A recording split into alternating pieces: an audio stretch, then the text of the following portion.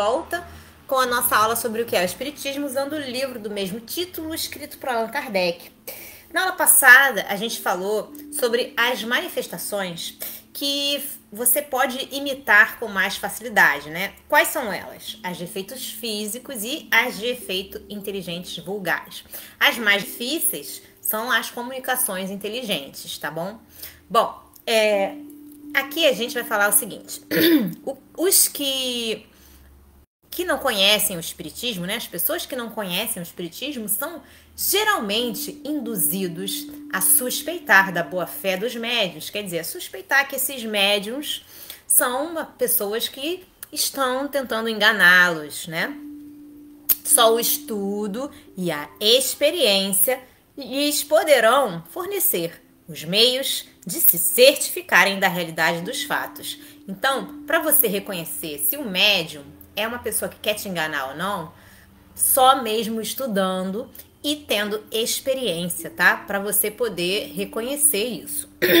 Fora disso, a melhor garantia que podem ter está no desinteresse absoluto, quer dizer, você encontrar um médium que não quer nada em troca, tá? Não quer dinheiro, não quer que você dê presentinho para ele, ou para o guia dele, ou para quem quer que seja, tá? E na probidade do médium, tá bem? Você verificar se ele é uma pessoa honesta, se ele é uma pessoa né, que trata as outras bem, etc.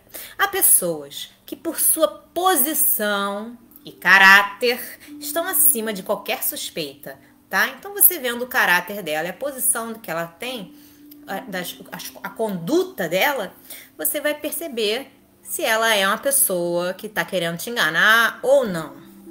Se a tentação do lucro pode excitar a fraude, o bom senso diz que o charlatanismo não se mostra onde nada tem a ganhar, tá? Então você não vai ver pessoas que são malandras, pessoas que querem enganar as outras se elas não tiverem nada a ganhar em troca, tá? Ver o livro dos médiuns, capítulo 28, item 304, e também você pode dar uma olhada na Revista Espírita de 1862 sobre esse assunto. Entre os adeptos do Espiritismo, né, as pessoas que são é, que estudam o espiritismo, ou que são espíritas, ou que se é, acham que o espiritismo é a religião delas e tal, encontram-se entusiastas e exaltados, né? Pessoas que são demasiadamente é, crédulas, pessoas que são, têm uma fa, um fanatismo, uma fé cega, tá? como em todas as coisas, tá bom? Então, esse tipo de gente, entusiasta e gente exaltada, gente fanática, você vai encontrar em qualquer lugar, tá bom? São, em geral, os piores propagadores. Por quê?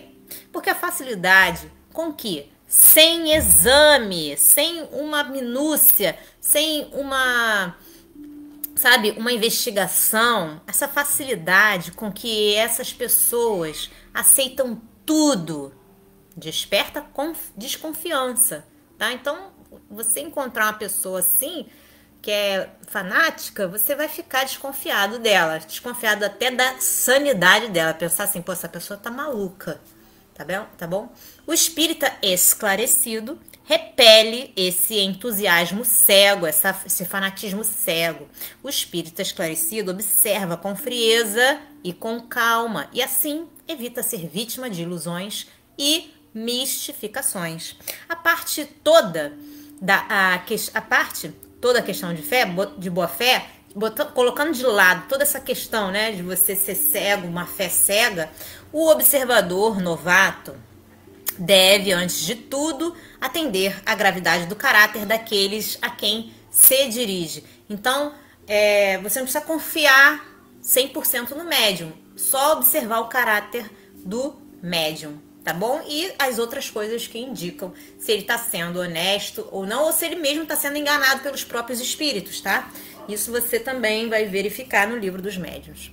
Ok, gente? A gente fica por aqui por hoje. Um beijo grande, Deus abençoe e até a próxima. Tchau, tchau.